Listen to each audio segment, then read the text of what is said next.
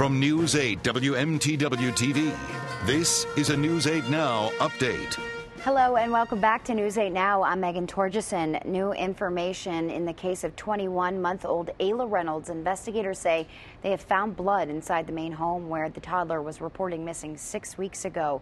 State Police spokesman Steve McCausland says the blood was found in the basement early in the investigation into Ayla Reynolds' disappearance from her father's home in Waterville. Her father, Justin DiPietro, says Ayla was not in her bed when he checked on her the morning of December 17th. McCausland says the blood is troubling, and police believe DiPietro and two other adults at DiPietro's home that morning have not told police the full story. The blood is being analyzed to determine whose it is, but McCausland doesn't know when those results will be available. A 22 year old Maine man is in stable condition today after he was shot by U.S. Marshals while they were trying to arrest him last night. Adrian Latalian was wanted on aggravated assault charges in Biddeford for allegedly stabbing a man in 09.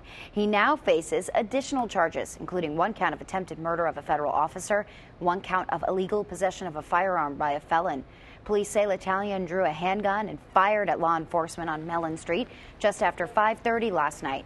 Police say marshals shot Latalian in the leg. He was taken to Maine Medical Center and is in stable condition.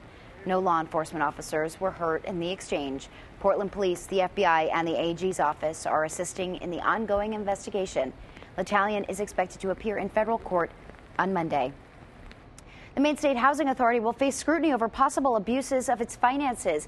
With a unanimous vote, the Government Oversight Committee ordered the investigation.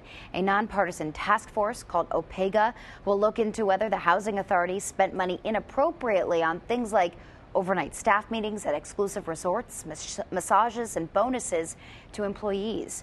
OPEGA will look to see if there was fraud and abuse of the system before a more detailed review of the Housing Authority's policy decisions. A review of the Housing Authority was already scheduled for March. The move by the Oversight Committee just moves it forward. Occupy Maine is taking action when it comes to the high cost of heating your home.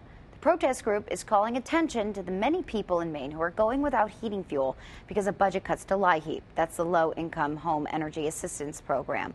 Members of the group say too often Mainers are having to choose between food and fuel. Occupy Maine will hold its first People's Press Conference on February 7th in the stateroom of Portland City Hall, where citizens are welcome to testify about the impact the cuts are having on them. Jay police have arrested a man they say stole more than 20 firearms. Police were led to Roger Briscoe while following up on a lead. When they arrived at 7 Pleasant Drive, police saw a chainsaw that was reported missing in a pickup truck in the driveway. After getting a warrant, police searched the vehicle and the home Investigators were able to recover all of the stolen items, including 22 firearms, a chainsaw, a laptop, and a bottle of rum. Thank you for joining us here on News 8 Now. I'm Megan Torgeson. Stay with us for the latest weather and sports highlights. We'll be right back.